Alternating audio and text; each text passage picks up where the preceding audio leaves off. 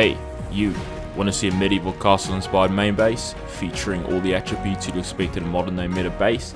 Well, introducing the Feudal, offering 3 towers of online protection with a phenomenal 5 bunkers of offline protection with a total raid cost of 85 to the main loot and 100 plus to the remainder. All of this while providing full customization from the starter, the loot rooms and the towers themselves.